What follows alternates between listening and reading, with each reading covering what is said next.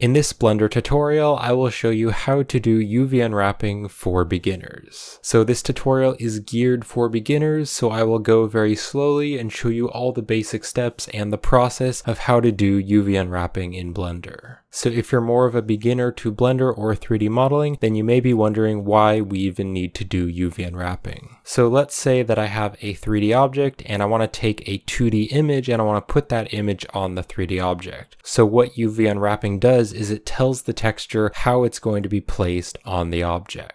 And so kind of what it's doing is it's creating a 2D version of the object because you are taking all of the faces on the object and you are flattening them out. And then that way you can place the 2D texture onto the flat version of the 3D model. And so where the UV mapping is on the texture, that's where the texture is actually going to be displayed on the object.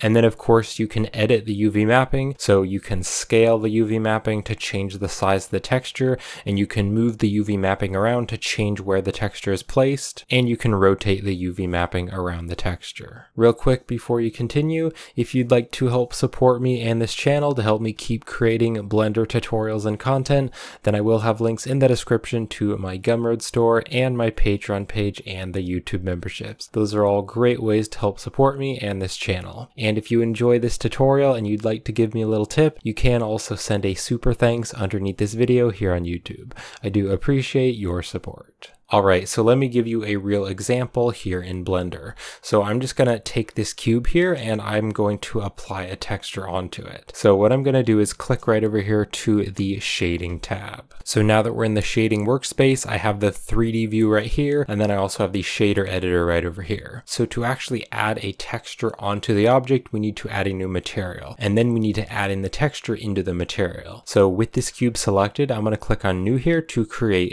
a new material. And then then I want to add in a texture here. So in the shader editor, I'm going to press Shift A and let's go here to the search and I'm going to search for an image texture and I'm just going to drop the image texture right here. And then I can click on the open button to open up an image texture. And then I am going to be downloading this rough wood texture and this is a free texture from a website called polyhaven.com. So I'll have the link in the description if you'd like to download the same texture that I'm using or you can just use some other texture that you have, or really any image file. So I'm just going to click on the diffuse. This is the color one just because I want to preview the color. And then I'm going to click on open image. Of course, if you set up an entire material with a color map and a roughness map and a normal map, then this will work fine as well. I'm just going to use the color though for this example. And I do also have a tutorial specifically on how to set up texture maps in Blender. If you'd like to check out that tutorial, I will have the links in the description. So we've now added this color map here, the wood color color map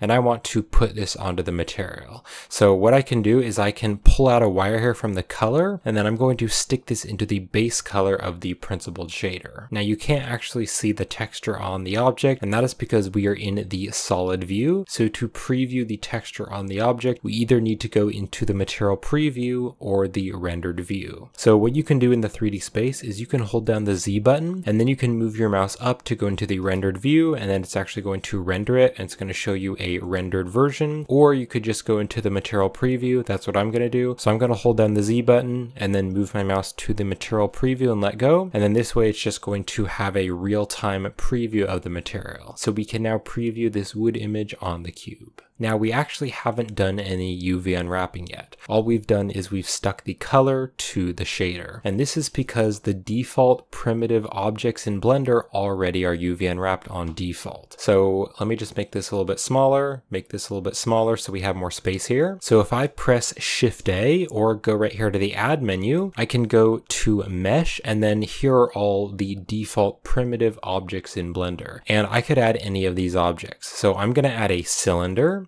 and then I can press G to grab. Let's hit X to bring it over on the X axis, stick it there. I'm also going to press Shift A, and I could also like add a monkey here. So this is the Suzanne head, the mascot of Blender. I'm going to press G to grab and bring this over on the X axis. So all of these primitive objects in Blender already have a UV map applied to them. So I can click here on this object and then over here on the materials, I can click on the drop down and I can add the same material. And you can see again, we're able to see the texture on the object because it already has been UV mapped. And then I can also click right here on the Suzanne head here, and then I can click right here and add the material just so that we can preview the wood object. So these objects already have a UV map, but when you are editing an object, it's going to kind of mess up the UV editing. And also you might want to change the UV editing. For instance, right here, you can see that there are some seams and things, and some of the wood is going at different angles. You can see the wood is a little bit stretched here. So you might want to change the default UV editing. You might want to re-UV unwrap the object. And also in many cases, you're going to do more complex modeling to the objects. And so that is going to mess up the UV editing. So after you've done all the modeling for the object and the modeling is finished, then you can do the UV editing. So just to show you, if I select the cube and press the tab key, that's going to go into edit mode. And let's say I want to add some loop cuts here. So I'm going to press control R to add a loop cut. And then I can scroll my mouse wheel out. So there are two loop cuts and then I can left click and then right click just to place them there.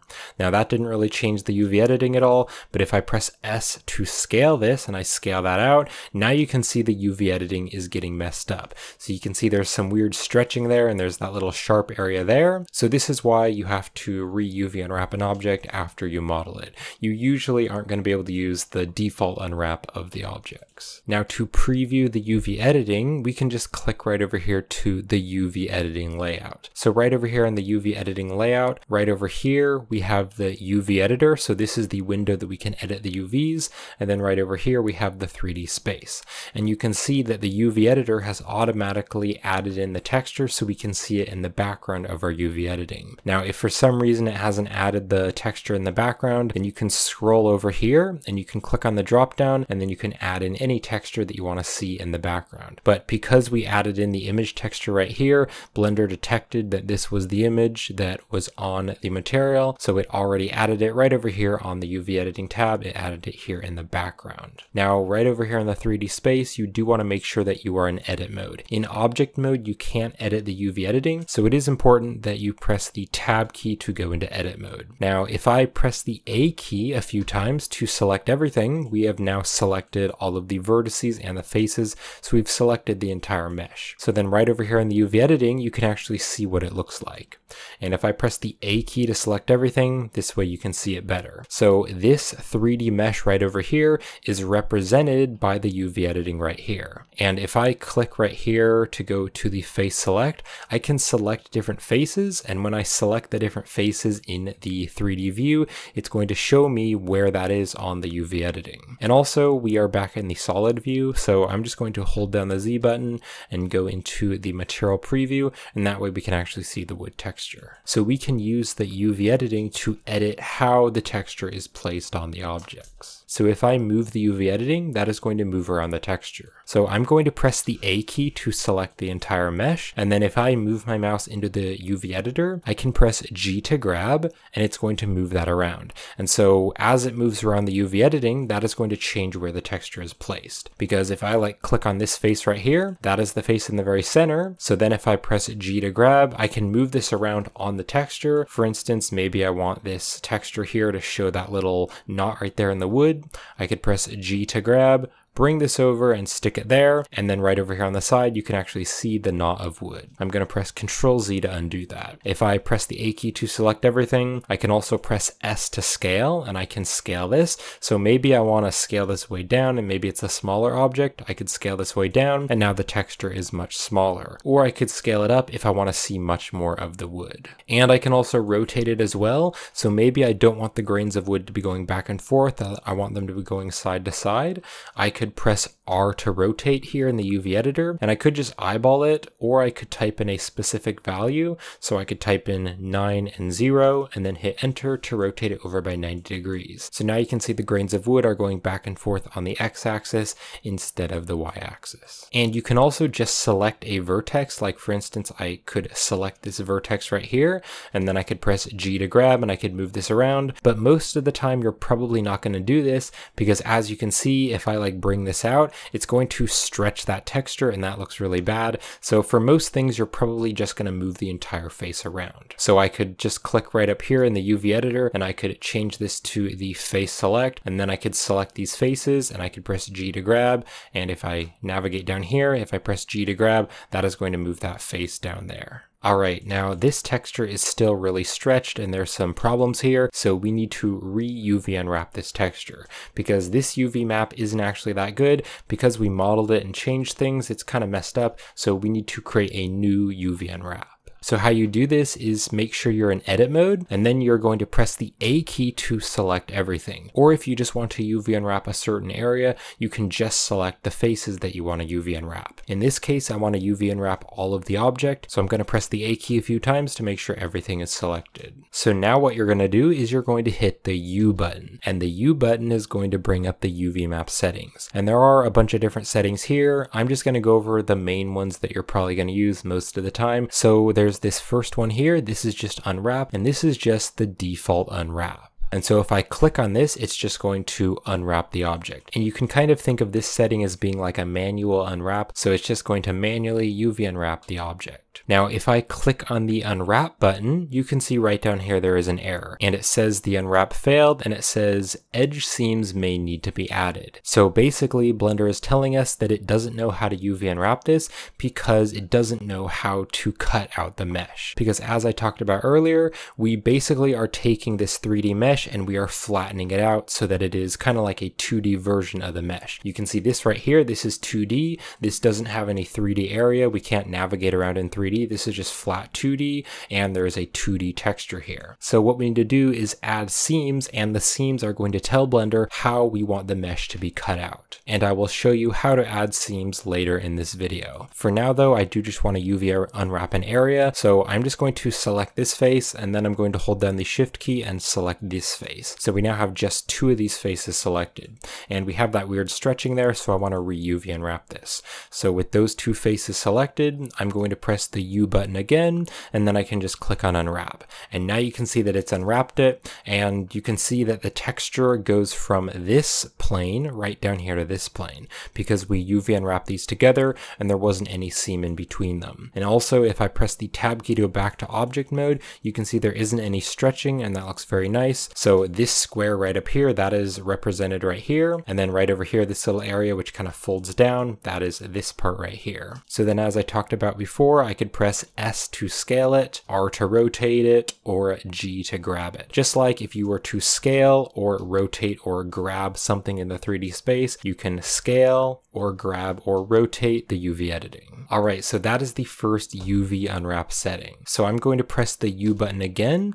and I'm going to go down here to this one, and this is the Smart UV Project. And so with the Smart UV Project, you don't actually need to add seams, and Blender's just going to guess, and it's going to do the best job that it can to UV unwrap the object. So I'm going to click on the Smart UV Project, and then there are a few settings here. These settings you probably aren't going to use most of the time, so I'm just going to click on the OK button.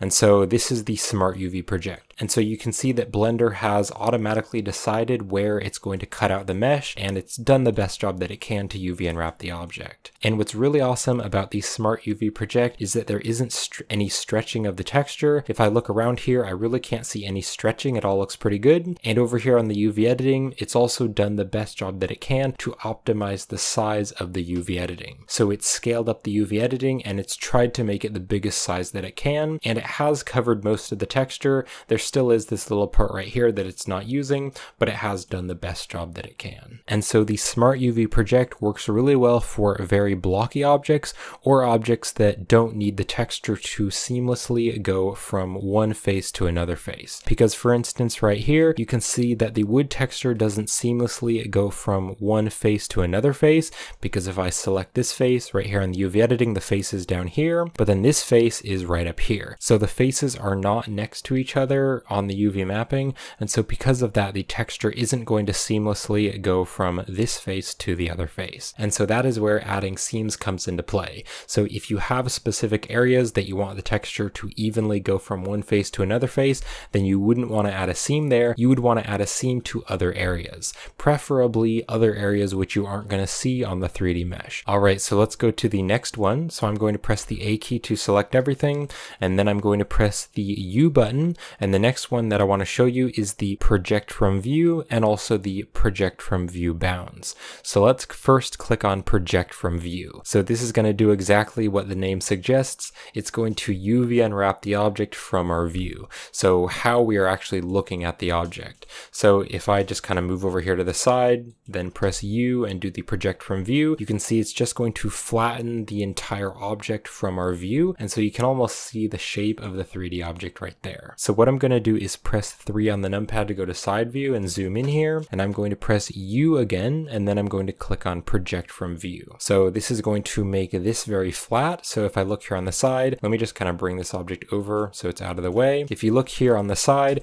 we UV unwrapped it from this view. And so all the faces right here look very flat. But because we unwrapped this from the side view, if you go right up here to the top, you can see that this face is all stretched. If I select this face and zoom in here to the UV editing, you can see that the face has been squished down. And that is because we UV unwrapped it from our view, so we UV unwrapped it right here on the side, so that face is just very squashed. And so it's basically only using one pixel. If I zoom way in here, it's just using one color pixel, and so that one color pixel is going to be stretched along that entire face. And then if we go right over here to the back, this is going to have the same texture as the texture right here. Like you can see right up here, there's these two little dots here on the wood texture, and they're also right there. And that is because they are sharing the same space.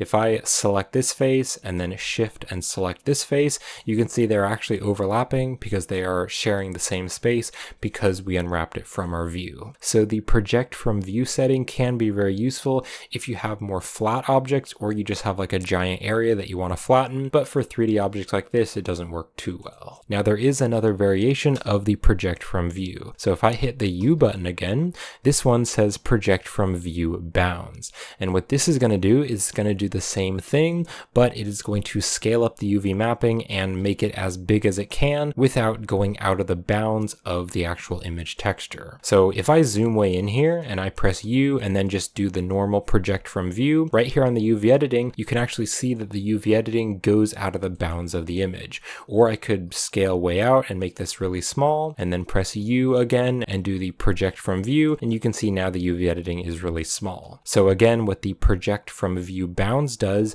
is it does the same thing. It just projects it from our view, but it scales the UV mapping and it makes it as big as it can without going out of the bounds of the texture. All right, so now that we've covered those things, let's actually do a good UV unwrap to a cube object. So I'm gonna press the tab key to go back to object mode. I can just press X and let's just delete this object. And then I'm going to press Shift A and I'm gonna go right here and just add a new cube. And then I want to add the same material. So I'm going to click right here to the material properties. And then I'm going to click right here and let's just add the material. So I can now just preview the wood material on the object. And then I'm going to press the tab key to go into edit mode. And just to change how the UV mapping is, I'm going to press U and then I'm just going to do the project from view. All right, so now the UV editing is all messed up and we want to fix it. So we're gonna need to add seams to tell Blender how we want to cut out the mesh and then Blender can make the UV editing flat and it can flatten it down on the texture. So if I just press U and then just click right here on the default unwrap, you can see it's gonna give us that error there. So now let's add some seams. So to add seams, I'm going to click right over here to go to the edge select because I just wanna select the edges. So what I wanna do is I want to open up the flat face right here, kind of like if this were like a treasure chest or something and I wanted to open up the top of it. So to do this, I'm going to select this edge and then I'm going to hold down the shift key and select this edge and then hold down the shift key and select this edge. All right, so now all of those edges are selected. So to add seams, I'm going to press U and then I'm going to go right down here and click on mark seam. And if for some reason you want to clear the seams, you can just select the seams and press U again and then you can click on clear seams. So I'm going to press U and then I want to click on mark seam. Now, if I press the A key to deselect it, you can see that those edges have turned red. And so that is just telling us where the seams are. But if you actually tab to go back to object mode, you can see those red lines aren't actually going to be there in the render. They're just going to show us in edit mode where the seams are. So tab back into edit mode and I'm going to press the A key to select everything. So I'm now going to press the U button again and now we can choose unwrap. All right, so now you can see it hasn't given us that error message and you can see it has done a bit of a better job. So there is a lot of stretching right here. There is also some stretching right here. This texture is really big, but right up here, you can see that actually looks really good. So it basically cut out the mesh right here and it opened up that face. So if I press the A key to select everything, you can see right here, this is the face that we cut out. And then there's still some weird stuff going on right over here. There's some weird stretching and things, but that looks pretty good. So the next thing that I want to do is go here to the back, kind of where the hinge is, and I want to add seams here so that we can open this up as well. So make sure you are in the edge select, and then I'm just going to select this edge, and then hold down the shift key and select this edge. So I can now press U again, and then I'm going to click on Mark Seam. So we've now cut those edges and they're going all the way down there. So I can now press the A key a few times to select everything, and then I can press the U button, and then again, I'm going to click on the unwrap, just the default manual unwrap. So if I click right here to go to the face select, I can select this face. So here's the first face. Then I can hold down the shift key and select this one. And so because we've added seams there, it's cut out those faces. And so those faces are nice and flat and there isn't any stretching. Now, if I press the tab key to go back to object mode, something else to notice is that the texture actually goes down the faces. And that is because we didn't add a seam right here. And so these two faces are actually connecting. They're actually connecting to each other. And so this wood texture, the grain of wood goes along the top and then it goes down. Whereas right over here, if you were to look at the front of it, you can see that doesn't really match up. The grain of wood doesn't match up, and that is because if I tab into edit mode, we added a seam right there. All right, so we still have some stretching and some weird things going on like right here, and you can see these faces are very deformed. So what I need to do now is add a seam down here and add a seam down here. And then that way we'll be able to fully open up the box. So again, let's click right here to go to the edge select, and then I'm going to just select this edge and then hold down the shift key and select select this edge. So I can now press U again and let's click on mark seam. So we've added seams there. So now what's going to happen is this face right here on this side and this face right here on that side, they're going to be open down. But then right here, you can see there isn't a seam there. So the texture will connect with those faces. So press the A key to select everything and I'm going to press U and then I can click on unwrap.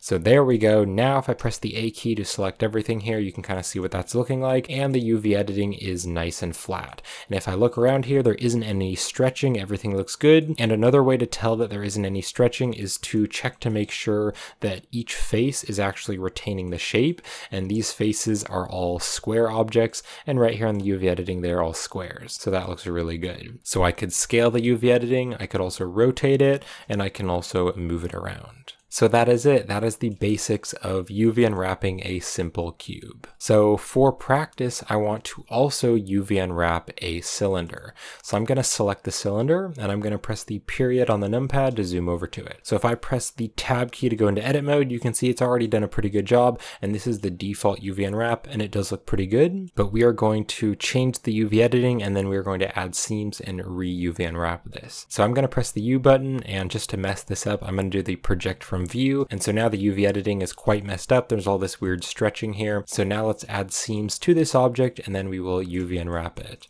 So I'm going to press the tab key to go into edit mode.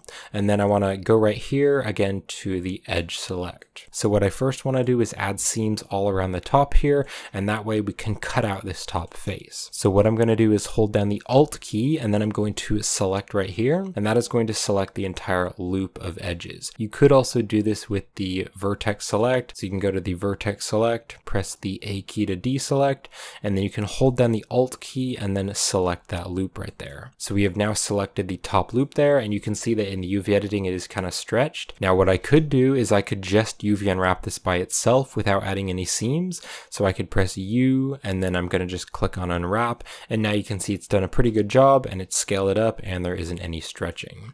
But I do want to add seams here because I want to UV unwrap the entire thing at once. So what I'm going to do is press U, and then I'm going to go right down here and click on Mark Seam. So now that top face can be cut out.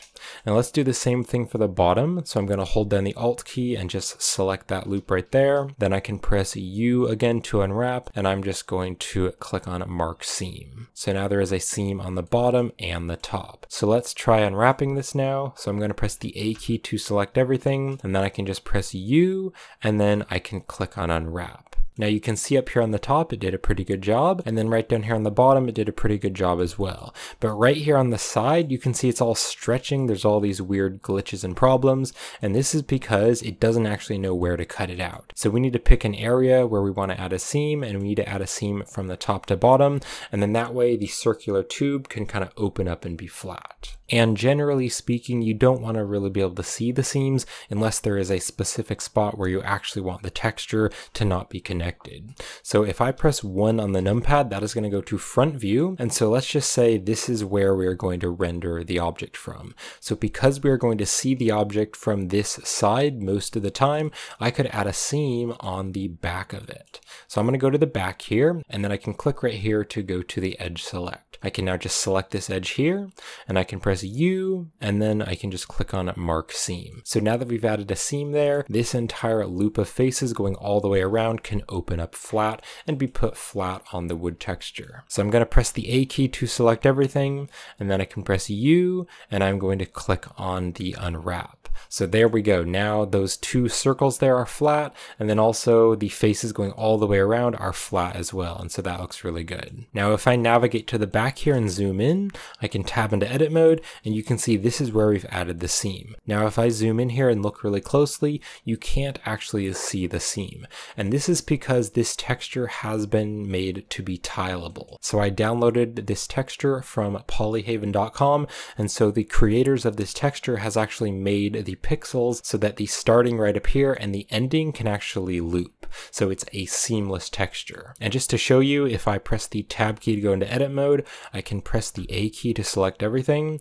And in the UV editor, I can scale this way up and I'm going to scale it really, really big. So now I've brought this over and you can see it's very big. But if I zoom in here, you can see that all of the wood texture is seamless. And most textures that are created for 3D work are tileable. So I'm just going to press Control Z, Control Z to undo this just to bring it back to its default size. So normally you would see a seam there, but in this case, because the top connects to the bottom, we can actually get away with that and we don't actually need to see a seam there. But if I were to scale this down a little bit and bring it over, maybe bring it down there in the, center. Now if I press the tab key to go back to object mode, you can clearly see a seam there. So the wood texture doesn't evenly go between this face to this face. Um, so sometimes you are just going to have to deal with seams, but in this case, we are going to be mainly looking at the object from the front on, and so it is hard to see the seam. Now something else that I want to show you is how to rip the faces. So let's say that I just have a couple faces in here, I could actually select them. Let's say I want to move them out and kind of move them over here. Well, if I just select them and press G to grab, you can see I can move it over, but you can see it's actually stretching those other faces. And so this looks fine right here, the ones we have selected looks fine, but then on each side, there is some stretching. And so instead of doing it like this, we can actually rip the faces and we can create a different UV island. And just so that you're aware, UV islands are each of these little areas which are all connected to each other. So if I press the A key to deselect everything, I can press the L key with my mouse hovered over the vertices, and that is going to select the linked vertices. And so this right here is a single island, and then this right here, this is a single island as well, and then this right here, this is all a single island. So let's get back to ripping the faces. So there are a couple ways to do this. So let me just go right here to the face select again, and then I can select these two faces. So if you just select these two faces in the 3D view, it's only going to display those faces in the UV editor. So I can now press G to grab and I could bring this over, and now you can see that it's not going to stretch the other faces. So that is one way to do it. I'm going to press Control Z though to undo that. I can press the A key to select everything, and then let's just select these ones here. Let's say I want to bring these over. So normally if I just try to bring them over, it's going to stretch those faces, but what I can do is I can actually rip the faces and separate them. So if I press the V key, the V key is going to rip the faces. So I can now bring these out and you can see they are now separated. So now we actually have five UV islands. We have one, two, three, four, five UV islands. So what I'm doing is I'm just hovering my mouse over the islands and I'm pressing the L key. That is going to select all the linked vertices by pressing the L key. So you can see we actually have five islands now. And so ripping the faces can be very useful if you have a specific area that you want to move to a different location on the texture. And then before we finish this tutorial, there is one more common problem that might happen to you that I wanted to let you know about. So what I'm going to do is just press Control Z to undo this. I'm going to bring that back there. All right, so now the UV island is connected. So if I press the tab key to go back to object mode, let's say I'm just editing this object and I want to scale it. So I'm going to hit S to scale and I'm going to scale this up on the Z axis. So I've scaled this up and I've scaled this object up in object mode. So now that I've scaled the object up, you can see there's some stretching. So I'm like, okay, I want to re-UV unwrap this to fix the stretching problem. So I'm going to press the tab key to go into edit mode, and then I'm going to select everything, and I'm going to press U, and then I'm just going to click on unwrap. And you can see that something isn't working properly. Even if I mess this up by doing the project from view, just kind of change the UV editing. Let's try this again, U, and then click on unwrap. You can see if I tab to go back to object mode, the texture is still stretching. Now I could try to fix this by going over here into the UV editor. I could press the L key with my mouse hovered over the UV editing, and I could try to scale it up sideways like this to try to fix it, but that would just be eyeballing it and it would be stretching out the UV editing and kind of messing it up. And so this isn't the proper way to fix this. So why this is happening is because I scaled the object up in object mode. And so to fix this, I need to apply the object scale because this is what I want to be the new default object scale.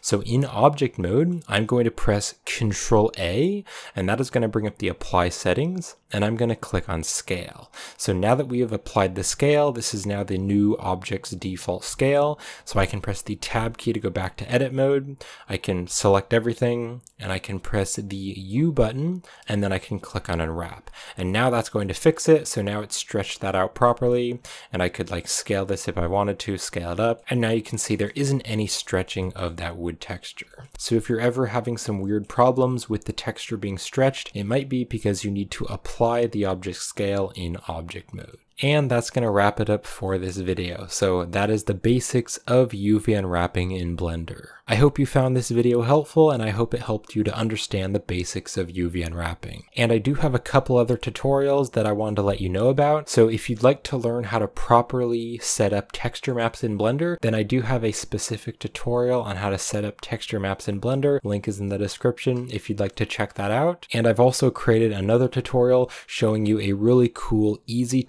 method that you can use to apply textures to your mesh without actually using UV editing. So if you'd like to check out that tutorial, again, I'll have the link in the description. And if you'd like to help support me and this channel, I will have links to my Gumroad store and my Patreon page and the YouTube memberships in the video description.